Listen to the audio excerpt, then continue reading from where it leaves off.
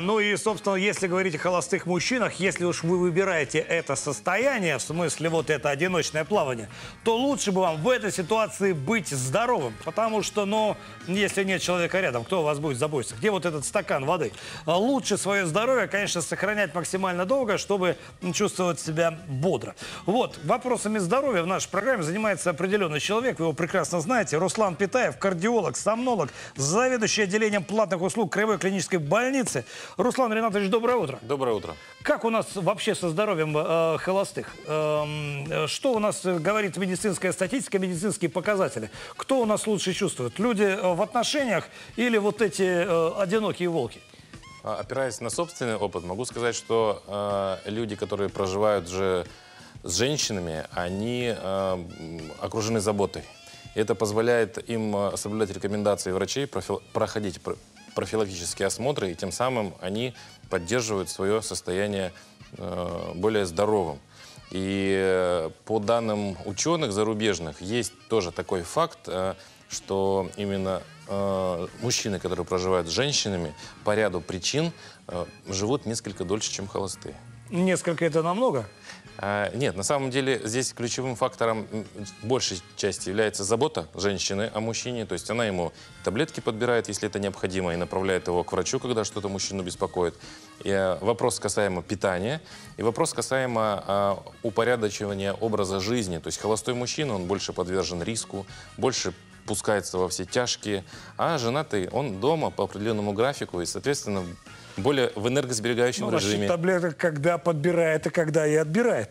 Тут э, э, какая вещь? Э, все-таки э, ну, женщина проявляет, конечно, заботу, иногда э, чересчур навязчиво. Да. Э, но просто пьет кровь, между нами говоря. Это ведь тоже фактор, который, мне кажется, не очень позитивно сказывается на продолжительности жизни. А вот стрессовый фактор как раз наоборот может и пагубно влиять на здоровье, поэтому здесь э, важен факт, мужчина себя комфортно чувствует в ситуации, когда у него пьют кровь.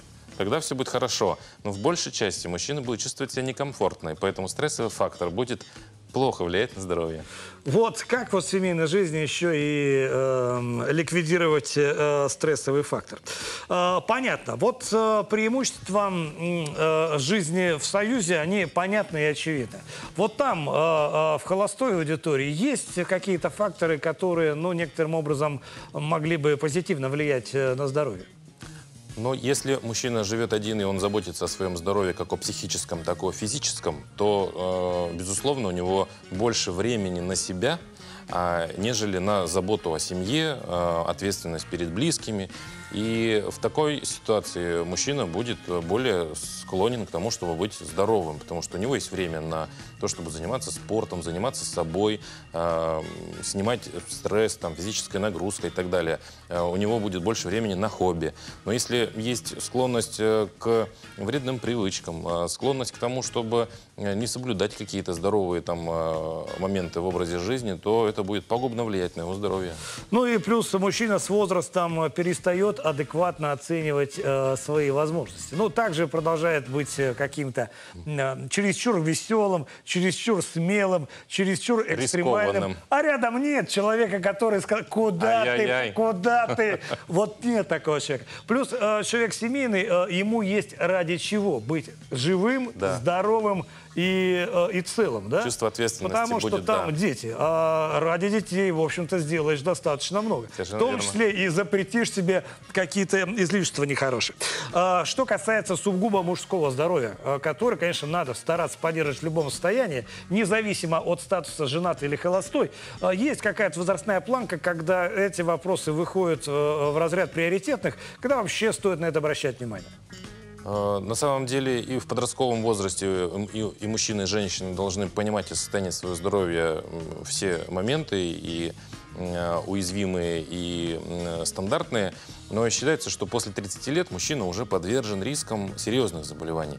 И в связи с этим существуют так- определенного рода комплексные программы обследования, которые проверяют скринингом работу основных органов и систем.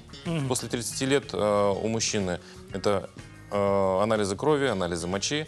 Э, Для скрининга работы вну- внутренних органов э, могут быть проблемы э, с сердцем, поэтому это э, электрокардиограмма, э, УЗИ щитовидной железы, э, легкие и э, печень. Это основные моменты, которые э, могут быть подвержены каким-то э, рискам.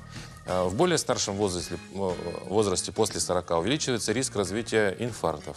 Соответственно, более углубленное исследование должно быть сердечно-сосудистой системы и настороженность на онкозаболевания. Здесь проводится и гастроскопия, и колоноскопия, э, прямая кишка и желудок, потому что это наиболее частые э, места, где встречаются онкологические заболевания. Поэтому они добавляются в скрининг. Ну и, конечно же, уролог. То есть за мужским здоровьем э, нужно следить э, тщательно. Если, даже если нет каких-то симптомов, регулярная проверка предстательной железы, она должна быть в комплексе.